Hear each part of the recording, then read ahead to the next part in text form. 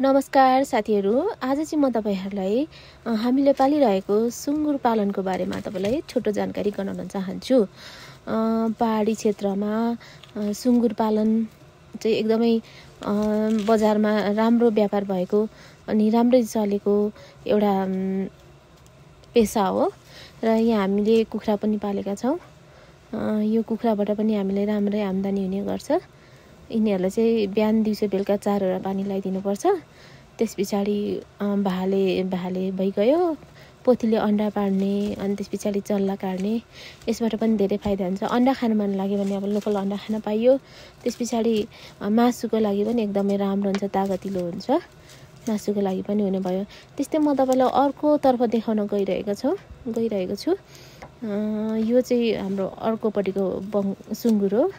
यहाँ पनि एकदमै ठुल्ठुला छन्। यो छ महिनादेखि सात महिनासम्म यत्रो बनाउन सकिन्छ। तर यिन यिनीहरूलाई चाहिँ के भने हिलोमा भन्दा अलिक सुक्खामा चाहिँ एकदमै सफा हुने अनि बढ्ने अनि सजिलोसँग हुर्किने भएको हुनाले यिनीहरूले हामी चाहिँ प्रायः पत्कर छोडेर सफा ठाउँमा सुक्खा ठाउँमा राख्ने गर्छौँ। त्यस्तै म तपाईँहरूलाई अर्को ठाउँतर्फ लाँदैछु साथीहरू। यो चाहिँ हामी धरानबाट ल्याएको धराने हिमसार सुँगुरको प्रजाति अरे यो चाहिँ एकदमै छिटो बढ्ने गर्छ बढ्नु चाहिँ होइन। तर यसको मासु चाहिँ कस्तो हुन्छ मलाई ठ्याक्कै थाहा भएन। मिठो हुन्छ भनेर भन्नुहुन्छ सबैजनाले। यसलाई चाहिँ राम्रोसँग समय समयमा चारो दिन सकियो भने चाहिँ एक सयदेखि डेढ सय केजीकोसम्म हुने नौ महिनादेखि दस महिनासम्मको समयमा चाहिँ हुन्छ भन्ने सुनेको छु र त्यस्तै देखेको पनि छ। त्यस्तै यो खोरमा हेर्न सक्नुहुन्छ। यो चाहिँ कालै सुँगुर हो। र यिनीहरूलाई चाहिँ अब लेकमा पाहाडमा एकदमै हरियो भरियो हुने हुनाले यिनीहरूले प्रशस्त हरियो चारोहरू खान पाउँछन्। त्यस्तै यहाँ अर्को देख्न सक्नुहुनेछ।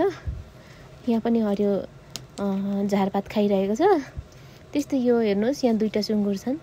यो दुईवटा सुँगुर चाहिँ के हो भन्दाखेरि हामीले ल्याएको लगभग तिनदेखि चार महिना भएको छ। यिनीहरू पनि यहाँ यसरी राखिएको छ। यसरी चाहिँ हामीलाई सुँगुर पालनबाट चाहिँ राम्रो आम्दानी भइरहेको छ। यसरी गर्न पनि सकिन्छ साथीहरू। यहाँ चाहिँ हरियो प्रशस्त अनि बजारबाट यिनीहरूको लागि चारोहरू ल्याउन पनि सजिलो हुने भएकोले हामीलाई चाहिँ यसले रा राम्रै रूपमा आर्थिक आय आर्जनमा सघाउ पुगेको छ। साथीहरू यहाँ पनि देख्न सक्नुहुन्छ तपाईँले। अब यति नै होला